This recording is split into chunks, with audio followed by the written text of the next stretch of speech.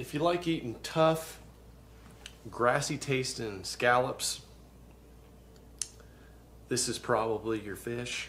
But if you like really delicious flaky fish, uh, this is not it.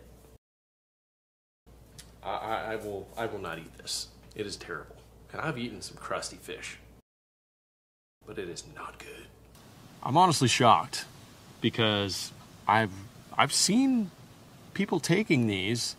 I've never seen like the finished product of them eating them. The last couple of weeks, I kept saying, Can I have a couple minutes of your time to talk to you about something? This is what it was about. Uh, I know Flair tried one. He told me it, it was decent. Maybe that was a small one. This is terrible. I shot a huge one, and it was uh, the texture was the craziest fish I've ever tasted out of freshwater. Plus, I've never seen the muscles twitch post fillet for that long. We're talking hours and hours and hours later.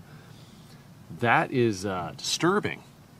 And I will most likely not be eating another one of these unless it is a severe survival survival situation. So, thank you guys for tuning in today for this culinary and dangling experience. Um, I think I'm going crappie fish fishing next. You ain't got to go nowhere. I got you. All right, now with buffalo, I got my cold fish. Now, sometimes I will uh, take it out the water. Well, before I fry it, I'm going to drain this water and sprinkle it with a little bit of season, some old Old Bay, lemon pepper, whatever you want to put on. Just put a light season on the fish. But then you got your batter. Well, yeah, your coating. Me, I use straight cornmeal. I did mix a little cornstarch in in in in, in this. But I normally use just straight cornmeal seasoned with the seasons that I want in there.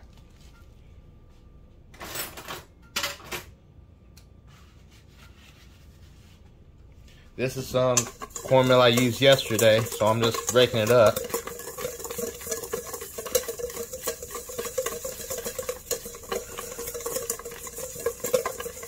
And I added some uh, extra season to it. But me myself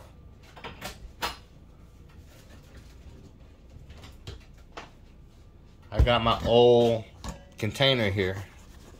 Fish fry container. And I've used this already so the Louisiana is gone.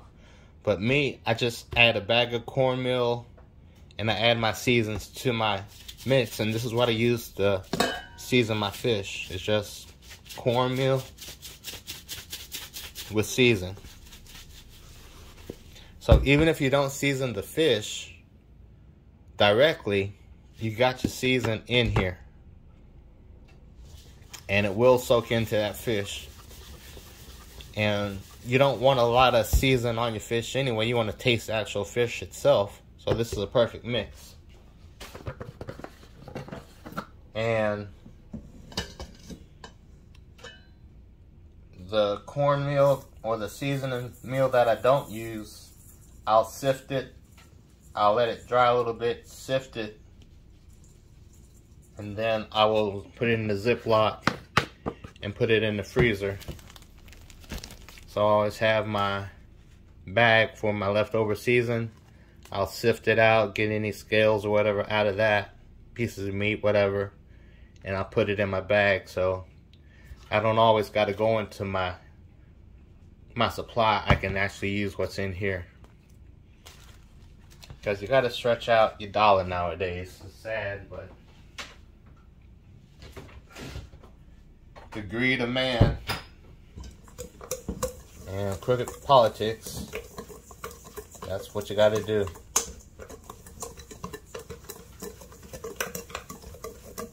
So I got my seasoned cornmeal I got my black pepper, garlic, onion powder. Got my Old Bay seasoning in there. And uh, I'm frying all this. I'm going to be the only one eating this.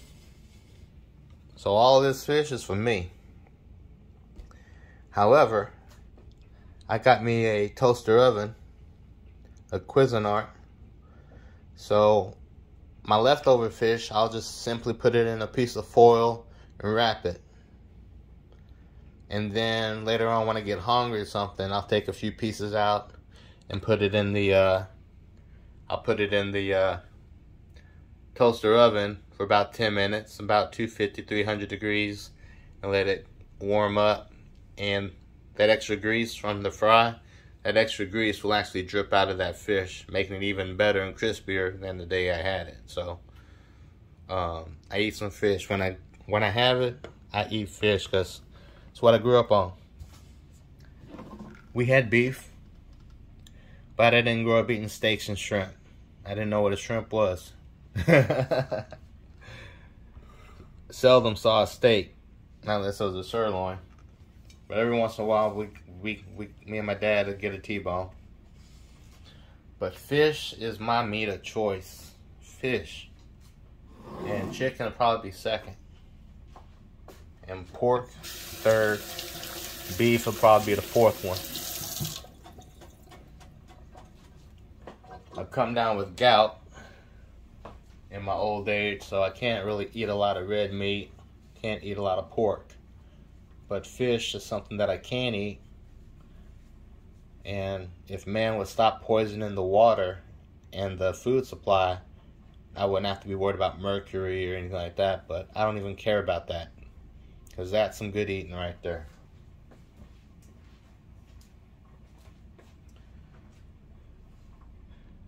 So we got fish and we got a seasoned mix. And uh,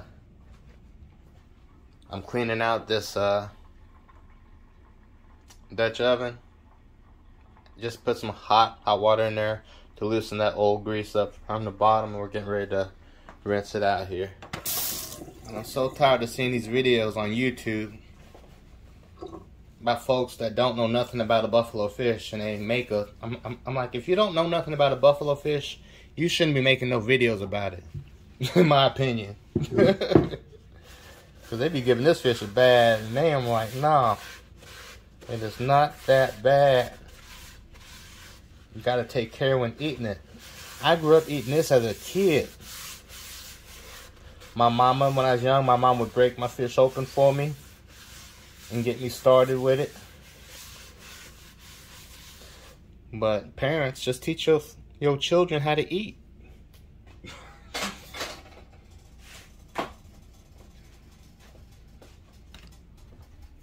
So, letting the skillet get hot on that hot burner and just letting it Get all that moisture out of there.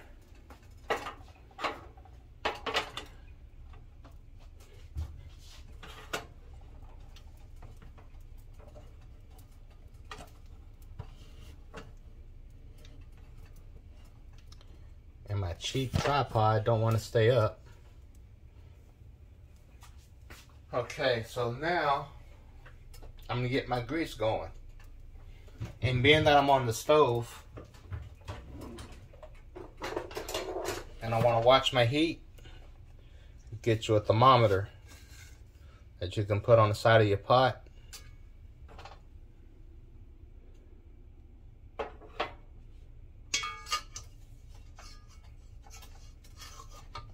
So you're starting to smoke.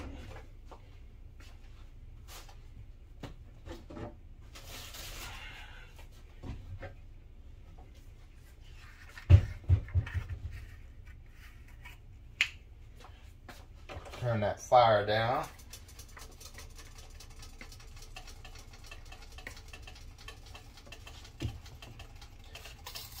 And just a good cheap vegetable oil is good. You can use canola, corn, whatever you want.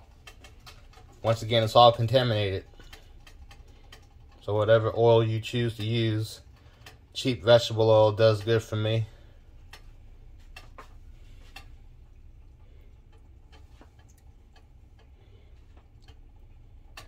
Now I'm gonna put this whole bottle in here.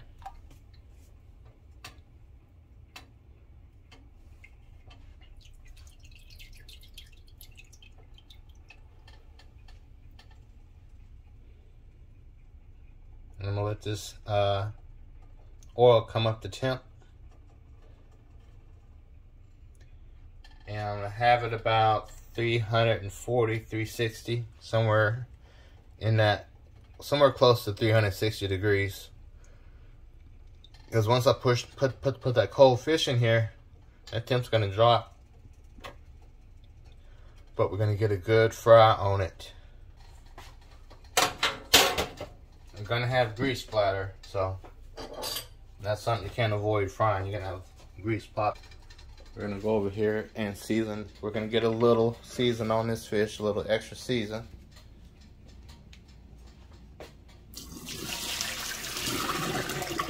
And this is water that I froze the fish in.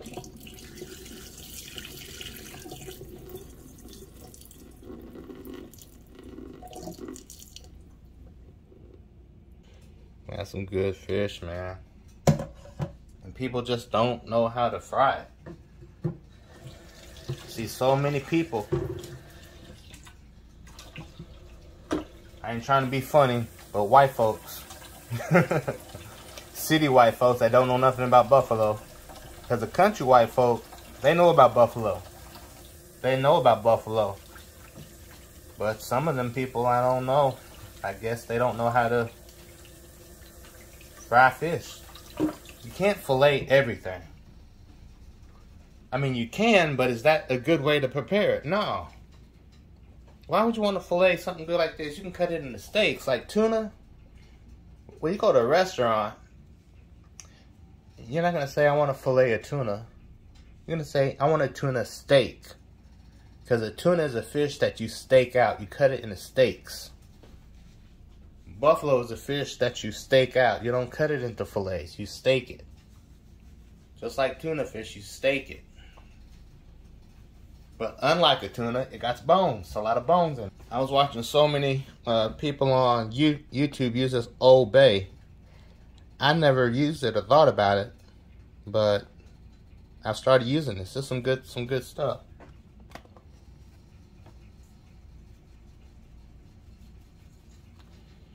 So this is also in my cornmeal mixture.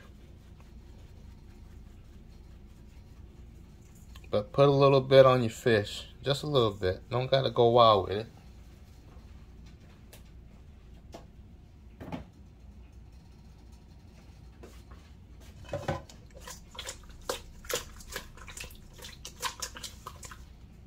That's all for me.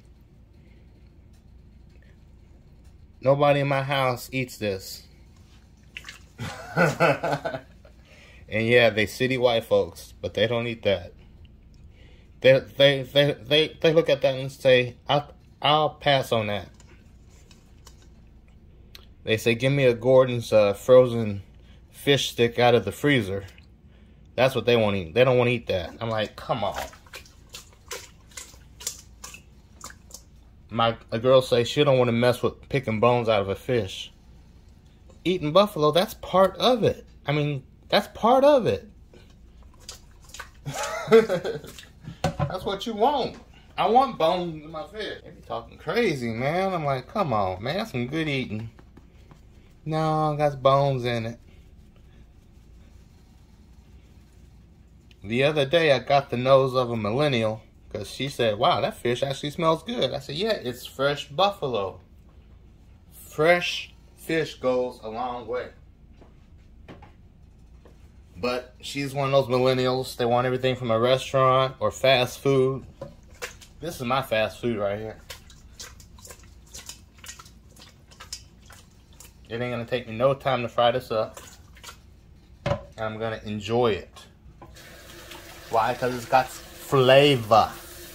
Like Uncle Roger, flavor. So you got that fish, cold and ready. Cold and ready.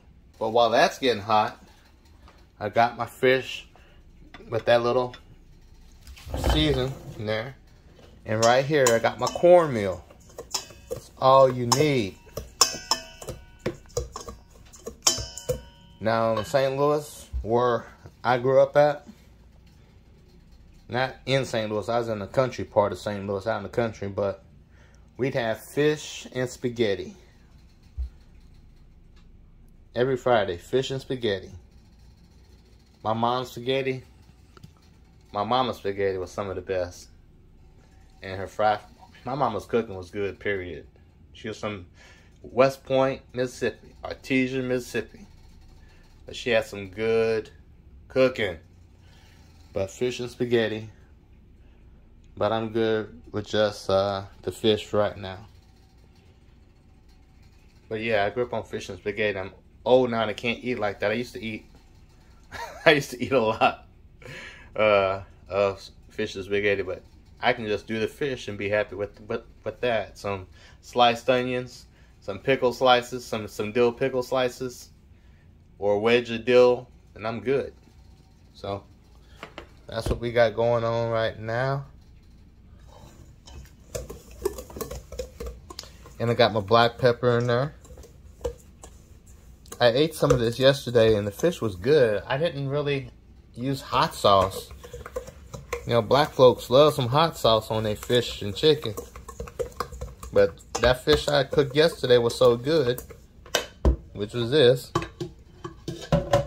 I just ate it fried. I didn't I I didn't need hot sauce on it. But in the end, I put a little hot sauce on my plate and started dipping it. You gotta get that vinegar tang from the hot sauce. And I'm partial to my hot sauce. It got to be that Louisiana red dot. Anything else is uncivilized.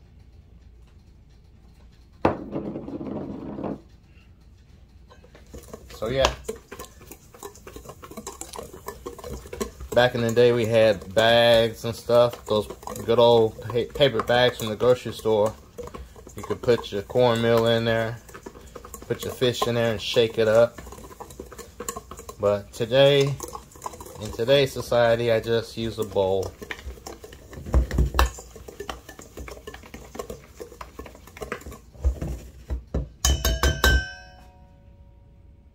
Alright, so we got that grease. Heat, heat, it's heating up about almost to 340. Fish, that's the dry batter season mix, whatever you want to call it.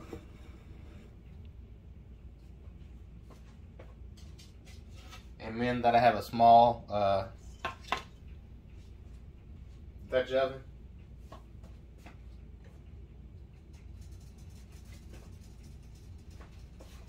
So my temperature's right at 360.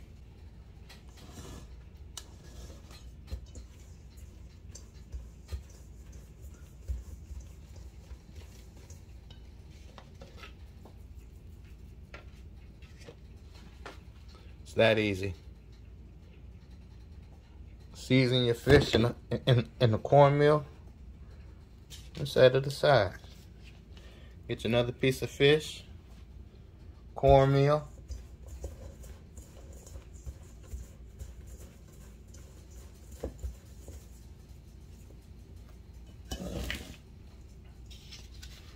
Set aside.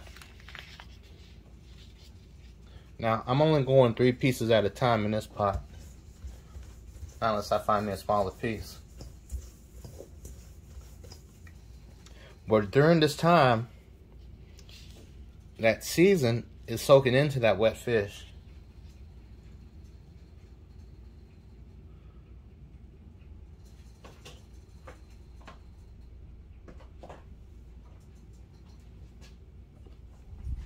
So right now we're about 380 to 80 degrees.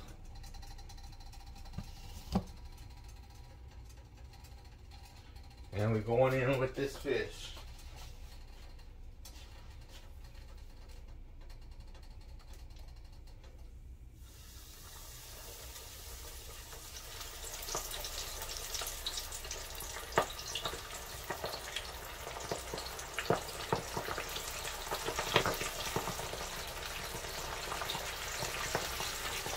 Deep fry. Deep fry. The temperature's coming down. Coming right at 3 360 right now. We got a fish in there. And we're gonna let let that roll. However, I'm gonna have to mess with this electric stove and the dial and try to keep my temperature or that grease don't get above 360. Like you just did, it was at 380. It's where it should be right now. And while that's happening, you wash your hands, clean up a little bit, sanitize. Now you can set a timer if you want, or you can just watch watch your your, your clock. Got 12:55 on the stove. So by 105, I should be coming out of here. You need to give that buffalo at least 10 minutes. I say, at least. You want to fry it kind of hard. You don't want no mushy fish. You don't want mush. You want to fry it hard. That's what country folks say. Fry it hard. Or people that know about fried fish, fry it hard. You don't want to fry it to a crisp, but you want a firm exterior crust so when you break it open, you see that steam come out. You see the white flaky fish in there. That, that's what you're going to see coming out of this pot here in a minute. Or should I say nine minutes. Now once again, my grease has cooled down to 330 degrees. And you notice that the bubbles have slowed down from when I first put the fish in. There's not as many bubbles now, so you know that fish is cooking and I watched uh, the channel on YouTube called Old School Soul Food, and he told me about the uh, temperature thing. I never thought about it. It's common sense, but I never thought about it. You say your grease is going to be at a temperature that you want. When you add your food in there, it's going to drop. But as that food continues to cook and become done, that temperature is going to rise back up it's not going to rise all the way back up to where it was, but it's going to rise up, which lets you know that your uh, food is almost done frying.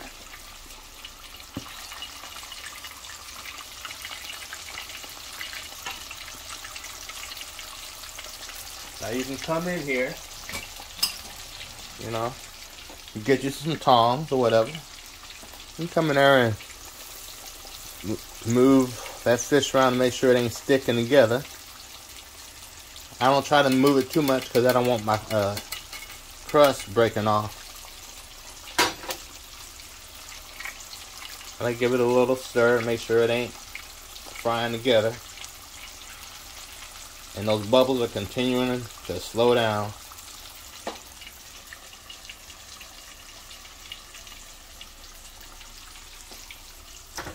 And we're just gonna let that cook.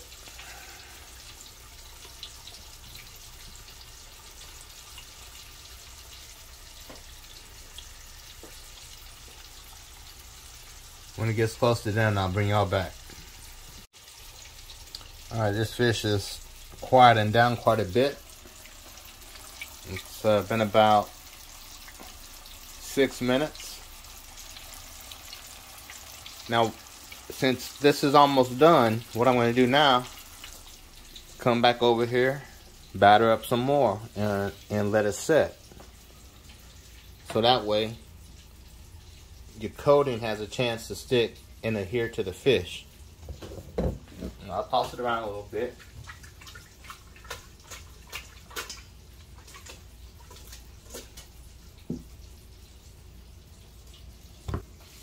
Throw with my season, coat it up.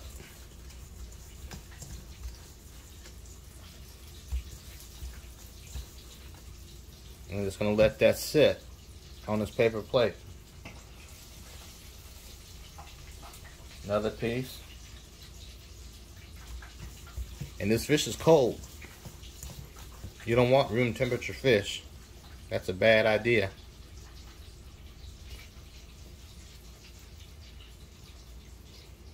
Cold fish, batter, or season it up.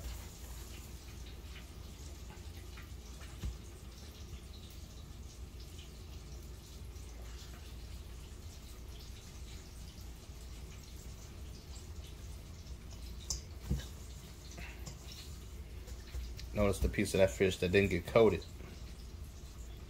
There we go. Now back over to my pot on the stove. It's quiet over here. It's like you're in church. It's quiet. Look at that. Fish floating. See how it's floating? That piece is so thin you know it's done.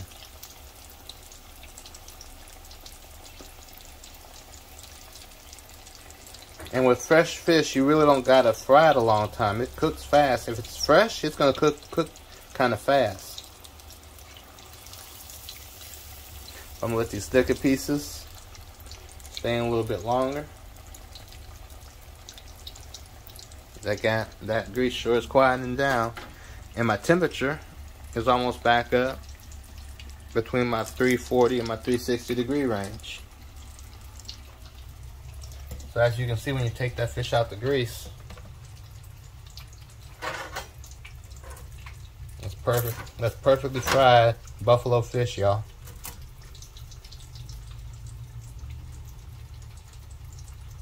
There's nothing wrong with that.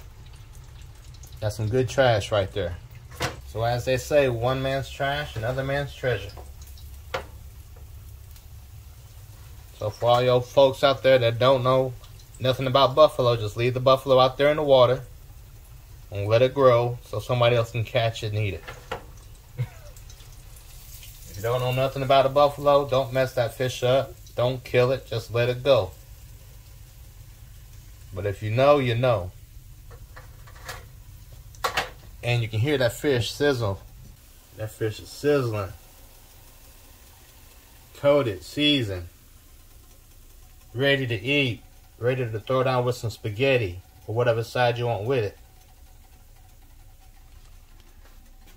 Now my grease is already back up to 360.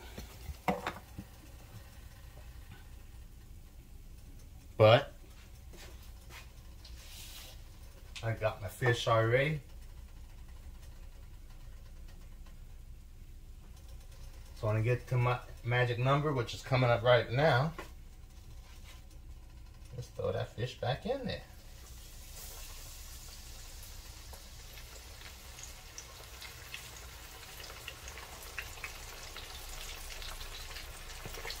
And let it cook.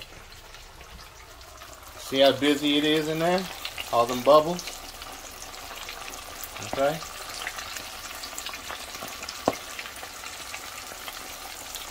Now don't hold your eyeballs close to that because a piece of grease might might pop up in your eyeballs. So make sure you stand back when you fry that fish. And I recommend never fry fry anything naked. A drop of grease in the wrong spot, you're breakdancing that kitchen.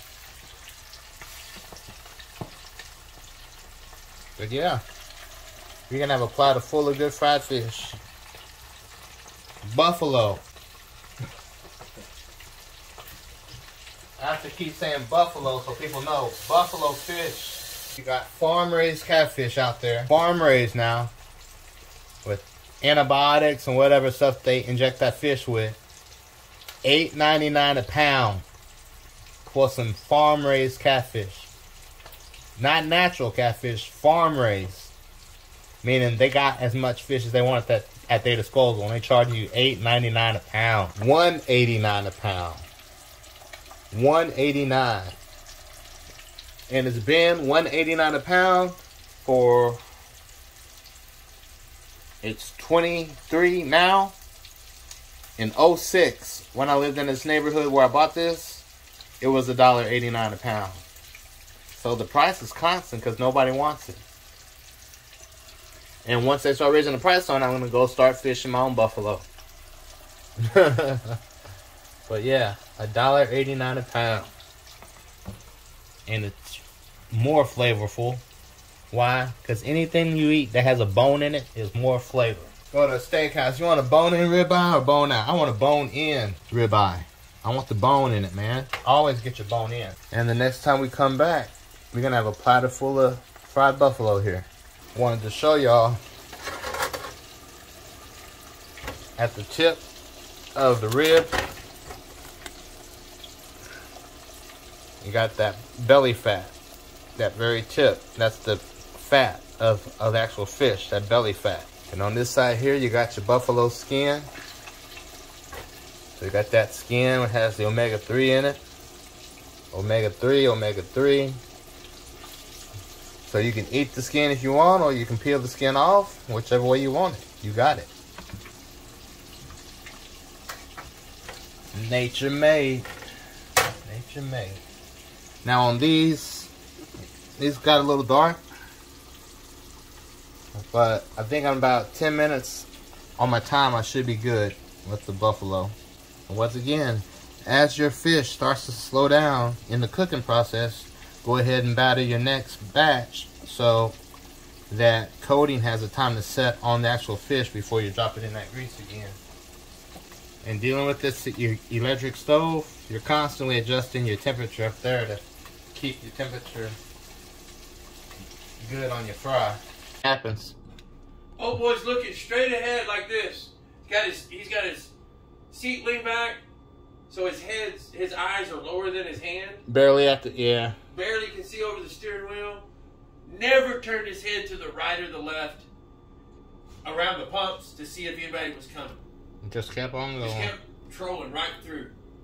I'm like, you idiot! Yeah. In a minivan. Oh, that's the worst. Only only look for the the real troublemakers. yeah.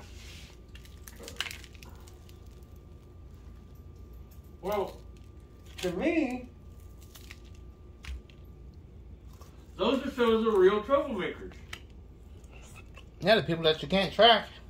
Because you can't you can't keep up with them, and they're not legal. They're living they're living legal through their kids.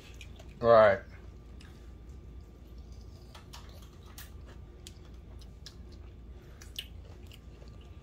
Mm.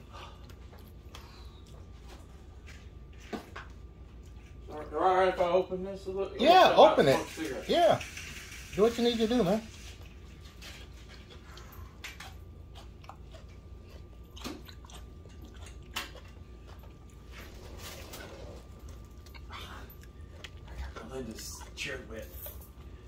Oh, it's, all right.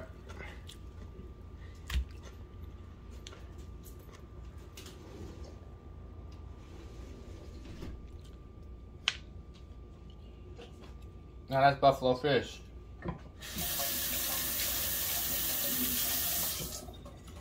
Good buffalo.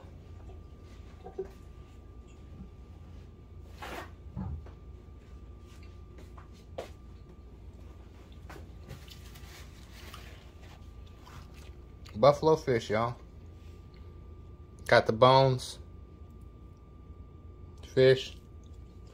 Let me see if I can find find some bones for you.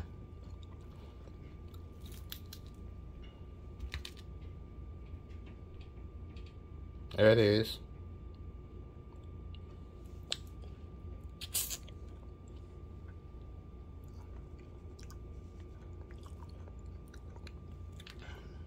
That's what you're looking out for.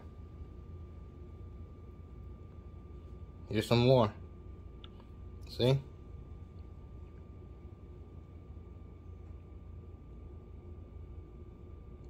Those are the bones that will get caught in your throat and choke you. So as you're eating buffalo, you got to pick them bones out. And then if you get tired of picking and you put it in your mouth, your tongue's going to find the rest of them. But look, put on the back of my hand so I can see the contrast. That's why people don't eat buffalo. But that's why I do.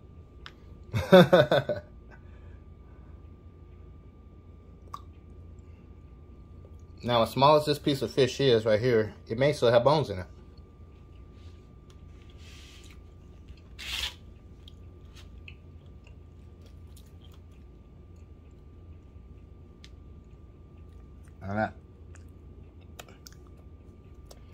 Around a little bone right there.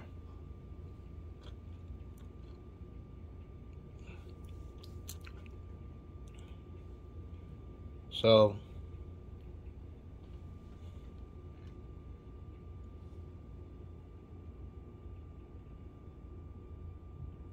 yeah.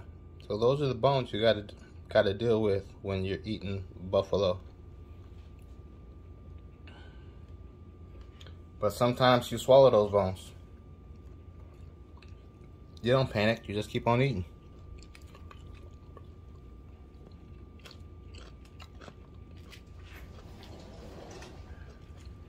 I didn't bring any ammo for you.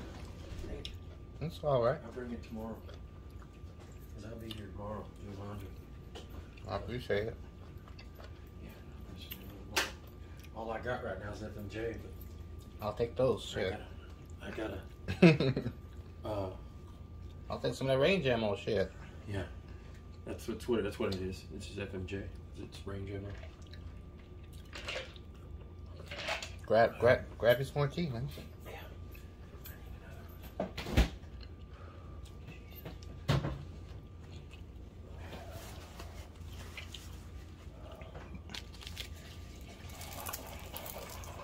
these are the ribs.